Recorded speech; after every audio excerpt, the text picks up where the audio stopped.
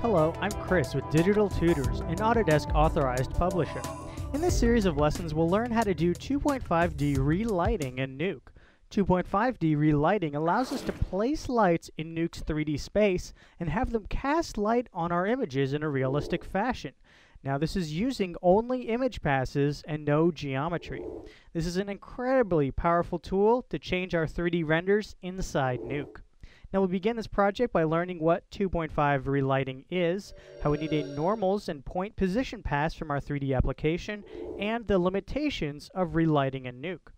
We'll then learn how to use the unsupported relight node available in newer versions of Nuke, and how to connect all the passes together to make it work.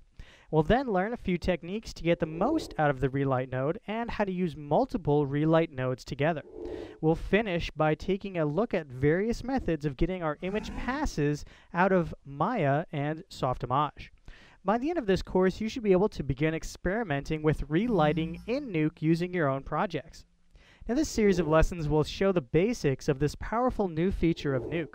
And by learning how to relight in Nuke, we can have much more creative leeway before we need to send renders back to the 3D department.